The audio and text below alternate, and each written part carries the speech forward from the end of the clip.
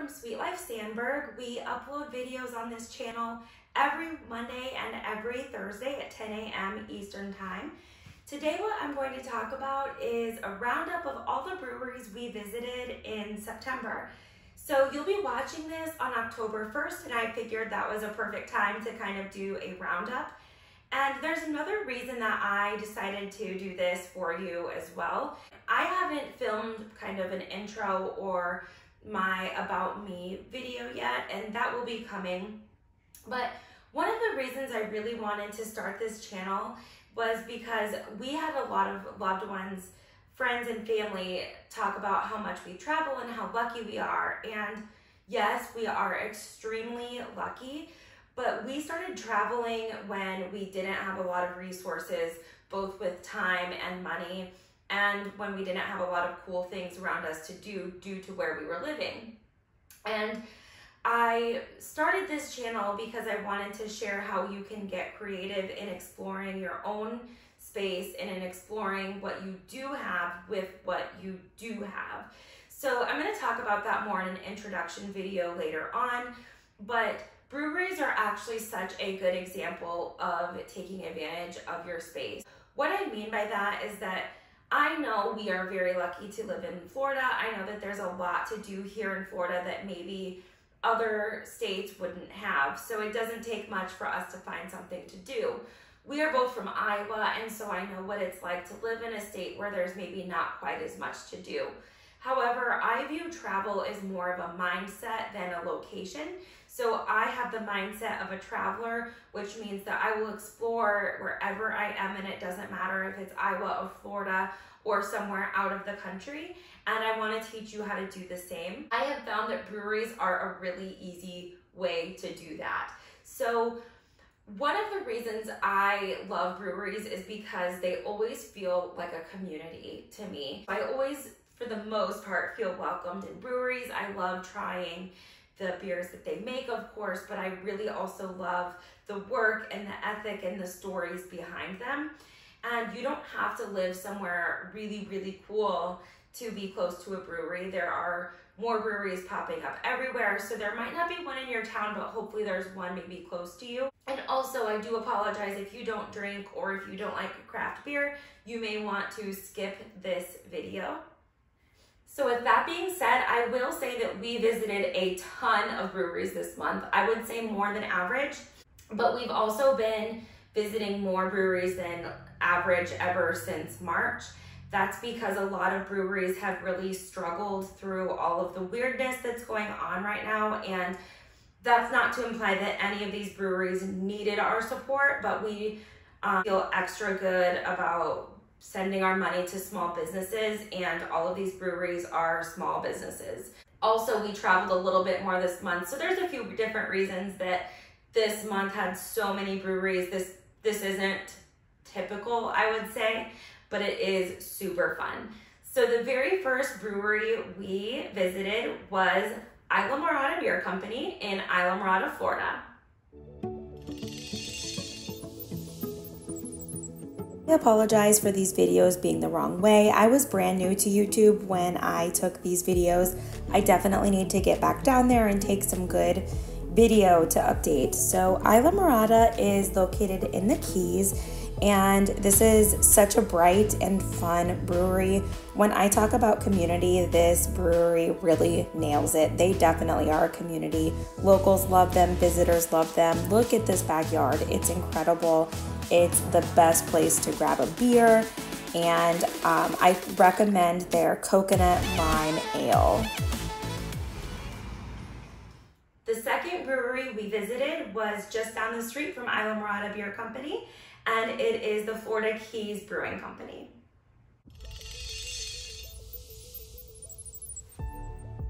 Florida Keys Brewing Company is a brewery that we are pretty familiar with. We've been there three or four times, I think.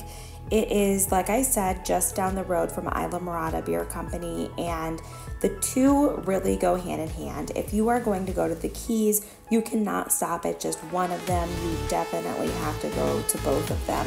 Their employees here are incredible, and I think that that's really saying a lot because I think that they definitely get tons of tourists who probably ask the same questions over and over again, but they are super patient, super friendly, super knowledgeable, lots of supers. They have an incredible backyard area. Look at how bright and fun it is. I could sit out there all day long. Um, unfortunately, we never have more than a few hours, but we absolutely love this brewery. Brewery number three is more local to our area. We live in the Tampa Bay area. It is the Gulfport Brewery and Eatery. It's a newer brewery. Gulfport Brewery and Eatery is in Gulfport, Florida. Like I said, it's a little bit newer of a brewery, but it's awesome. We did get food when we were there. It was really, really good. We love this space. Gulfport has a saying, keep Gulfport weird, and I think that this brewery fits right in with Gulfport. It's so pretty to sit outside.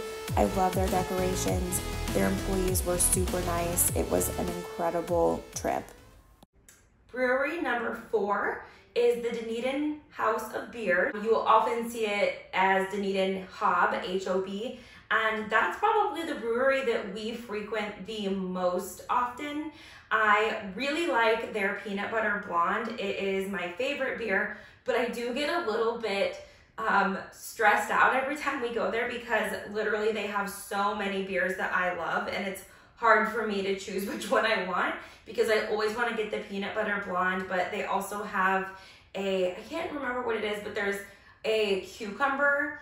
I think it might be a cucumber IPA. I'm not sure, but I always love that one. And then I tried a coconut one that's amazing. So I love this brewery, but I always have such a hard time deciding what beer I want because they have so many good ones.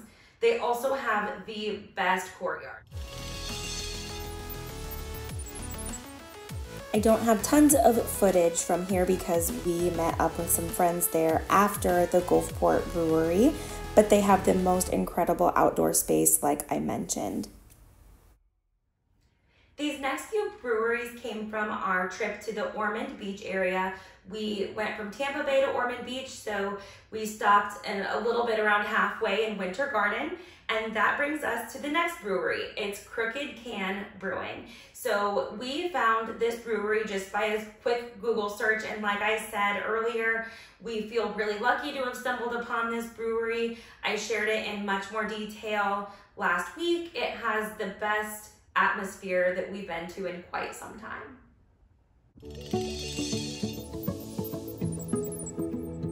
you watched my last video, you know that this whole space is not just for Crooked Can. Crooked Can is inside the Plant Street Market that you see here. It's just the most incredible place to visit. Brewery number six was Blue Springs, and that brewery was located in Orange City, Florida. Yes, Orange City. And this was a great place to grab a bite to eat. It definitely has a restaurant feel. I actually had a pina colada um, seltzer here, so changed it up. I'm typically a beer person, but I'm also such a sucker for pina coladas, and it was really, really good. So that was our sixth brewery. Here's the outside of Blue Springs Brewing. We really liked it because they had games that you could play inside, so we played some Nintendo. Number seven technically doesn't count, but I wanted to show it here. This is, I think, pronounced Tomoka, so please forgive me if it's wrong. We didn't stay at this brewery because it was inside seating only and it was packed. So that's a great sign that we need to go back. It's a great sign that it's a great brewery, but we just weren't comfortable eating inside when we were there. Not tons to see here since we didn't stay, but I thought I would show you. Okay, brewery number eight was Moonrise Brewing Company. Moonrise Brewing Company had the coolest atmosphere. Everything was decorated like the moon. This was the brewery that I was most looking forward to visiting. It's um it's in the European villages, which I'm gonna talk more about in my video that I upload on Monday but the European villages are in Palm Coast, Florida, and it is exactly what it sounds like. It looks like a European village. and there's tons of shopping, dining, bars, restaurants. It poured down rain when we were there, but actually Moonrise had a covered outdoor area where we could sit down and enjoy our drinks and we also got some chicken nachos. So we so appreciated the space and it was a really great place. You can see here that the ambiance here is incredible. It's all related to the moon, which I find really cool. If my video isn't perfect, it's because I felt a little bit awkward. People were definitely watching me videotape, and I'm not super comfortable with that yet since I'm newer. But here is their outdoor space. It's covered, which is perfect because it poured down rain when we were there. But we just enjoyed our beer with the rain, and it was actually very perfect. Brewery number nine. This is another favorite. This is Big Top, and we actually made a special trip to Big Top for their, what is it called? The raspberry, I'm gonna look it up. So it's the raspberry glaze IPA. So they collaborated with Five O Donut Co., which is a local donut um, shop. We love Five O Donut Co. And if you do look up Five O Donut Co., and if you do go there, I always get the birthday donut, but we're talking about beer. Those two companies collaborated and made a donut beer, and we had to go get it. So we made a special trip to try it, and it was great. They also have my favorite beer, maybe of all time. It's called a hotter blonde and it's made with jalapenos and honey. And um, they it's a special batch, I believe, at least when we tried it for the first time a couple of years ago. It's not one that they served like year round. And they happened to still have some when we were there this weekend. So we grabbed a whole bunch to go because it's my favorite. So we went to Big Top. They have the greatest beer. I absolutely love Big Top. I've never tried a beer from there that I don't like.